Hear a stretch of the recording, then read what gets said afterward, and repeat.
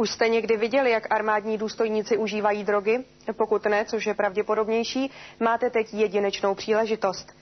Z armádního filmového archivu se nám podařilo získat unikátní materiál z počátku 70. let, který zachytil pokusy z LSD na vojácích Československé lidové armády. Není to dávno, co generál Shane vypověděl před Senátem Spojených států, že v době korejské války byli američtí váleční zajaci přiváženi do Prahy, kde na nich byly prováděny lékařské pokusy. I když se chtěl zřejmě jenom zalíbit, způsobil svým výrokem velký rozruch a po stopách vedoucích k americkým zajacům z korejské války se vydalo mnoho našich i zahraničních odborníků a kauza se stala předmětem šetření policistů i historiků. Případ nakonec vyšuměl do vytracena, protože žádné důkazy i přes velkou snahu nebyly nalezeny. Prosím vás, že by někdo ves k experimentu cizí státní příslušníky do středu metropole je téměř nelogické. Pokud by k takovým pokusům docházelo, pak by docházelo nějakých odloučených pracovištích a já mám dojem, že pan generál se chtěl zalíbit a že si přibásnil nejenom tuto problematiku. Zatímco po amerických zajacích, na kterých byly údajně prováděny vědecké pokusy a vyslíchaných za použití psychotropních látek nebylo v Praze ani vidu, ani slechu, podařilo se nám najít v archívu armádního filmu utajený materiál, zachycující pokus s halucinogenní drogou přímo na vojácích Československé lidové armády.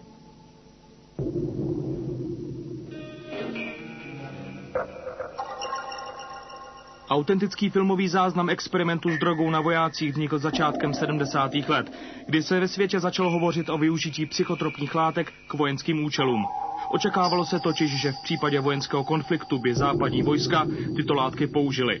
Film se natáčel ve vojenské nemocnici ve Střešovicích v Praze. Experimentovalo se, pokud já vím, kdy bylo zkoušeno LSD na dvou štábech, tedy na jednom štábu bylo zkoušeno LSD, ten druhý sloužil jako kontrolní. No a e, samozřejmě ty týmy nevěděli, e, který ten tým má LSD a nemá. Tak jsme teda řekli, že to bude takové štábní cvičení na mapách, no a že to uděláme v takové v místnosti, kde je teda budeme pozorovat, kde vidět, ale neřekli jsme jim, že budou snímáni skrytými kamerami. Byl to přednáškový sál v ústřední vojenské nemocnici. Tak jsme vytvořili takové kulisy tam nějak, že průzory, aby jsme kde jsme pozorovali a prozory pro ty skryté kamery. 20 minut po požití látky se začínají u všech příslušníků pokusné skupiny projevovat známky změněného chování. Objevují se u nich neúčelné pohyby a stěžují si na pocit zvýšené teploty prostředí. 30 minut po požití látky jde sdělit svoje abnormální pocity náčelník štábu.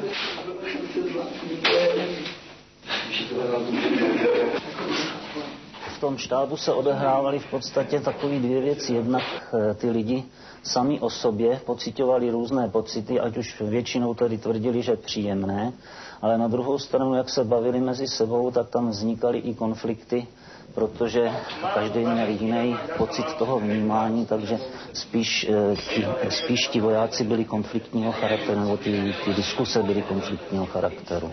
Já musím odejít. Neutěkaj. A já nejsem schopen Nezažívat velitele telefonu, velitel telefonu. Já musím. Proletáč je bravo, už od Prahu. To byste se ale nikam nedostali, protože to se nedostane. Nemám nic. Nic Co se tam dělá celý dopoledne volá? Taky nemáte. Vy nemáte munici teď. Je, tak to nezvládajme. Máte tady akorát nabitý tyhle, ty, tyhle ty dávám. no to se vidíme, ne? Jak vypadáme chlapi. Já tady reagujeme jako, jako magor. Máte prostě těch slov. A když vás pustí ke slovu, tak to může, může se rovnou střelit. Máte tam takový ty uh, zcela paradoxní halucinace, slyší zubama, jo? nebo e, e, vidí barvy ve svém vnímá je žaludkem. Jo? Ta, takovýhle, takovýhle bizarnosti, který vlastně toho člověka naprosto upoutají.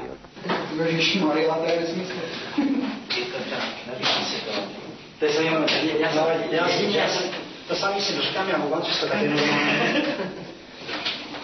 My eh, máme zachycený případy, kdy eh, ty lidi, kteří tu drogu použili, tak v podstatě uvěřili tomu halucinovanému ději natolik, že prchali, až skončili jako sebezabití. Jo? Základní je to, že máme tento Tak, ale potřebujeme nepřerušovat. Máme prostor, ze kterého máme být zasazení. Do tohoto prostoru se přesně tady hlásím, že ženista, ženista je to, to ženista,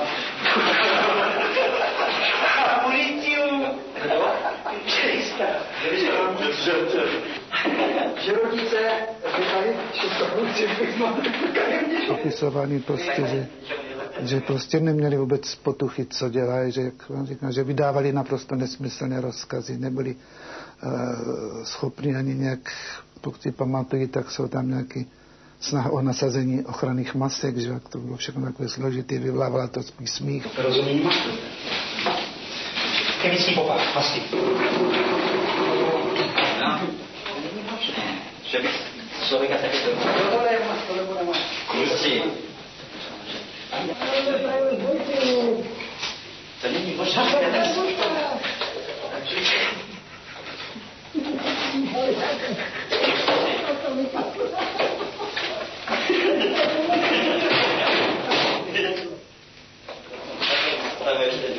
Nasadit masku!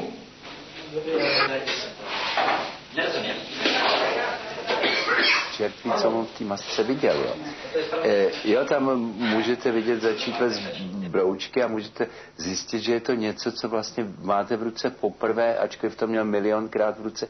Když se jim třeba, já nevím, zmenšoval nebo zvětšoval prostor, když se jim fragmentovali různé předměty, tak to mohlo být příjemné, ale zase zejména v té počáteční fázi oni si uvědomovali, že něco mají plnit a že jsou jaksi neschopní, což eh, kdyby to nebylo pod kontrolou, tak když to přeženu, tak v některých případech bych mohlo vést, mohl vést tento stav a i k sebevraždě. Pohledněte to. Za chvíli budeme vyprávět o tom, co jsme tady od rána dělali. Neměli jsme, doteď jsme neměli čas. Jo. A po vás chci jednu malůvku a jeden papír, po tomhle tom, si já nevím, tohle materiální zabezpečení a tenhle ten neví, kde, kde je nepřítel ještě. Jestli útočí ze západu nebo z východu. Ale vy... Napražíte na tu mapu. To je smrná. No co furt chci, furt chci po vás. Sam prestare, sam sakra. Oni to za chvíli úplně velitelí. Nevíte, jak vypadá situace na tom? Ježišmarja, pro Krista, páni, my jsme tady neudělali věci. Za to je etika. No. Poměr sil máte? Tak spočítat poměr sil. Zasazeš do šilu, stotíky, který je proti. Byli prostě, byli překvapeni a jak vám říkám, šokováni. Ten velitel, to tak pokus říká, když potom už po skončení pokusu, až druhý den, když se ukazovali ty materiály, že jsem který vyplodil, tak říkal, pane Bože, já jsem ty lidi hnal na smrt. Malé množství drogy LSD, kterou dnes běžně mladí lidé berou na diskotékách, stačilo k totálnímu zdecimování štábu raketového vojska i s politrukem. Je však jasné, že v naší armádě i v jiných armádách po celém světě probíhaly pokusy daleko drsnější, neboť se s takovými látkami počítalo ve válce. Současný názor vojáků, kteří byli tehdy do experimentu s drogou naveleni, se těžko dovíme. Ve vojenských archivech byly v tomto případě evidováni pouze jako čísla. Jak víte, tak v armádě se utajuje všechno a jsou některé oblasti a některé pokusy, které se utajují zvlášť. A právě psychofarmaka nebo vůbec zbraně eh, tohoto druhu patří těm nejpřísněji utajovaným a mám dojem, že pravdu o tom se nedovíme ani po těch sto letech. Pocity během toho pokusu jsem měl víceméně nepříjemného rázu, ale kdyby to bylo potřeba, tak na ten pokus budu ještě jednou klid.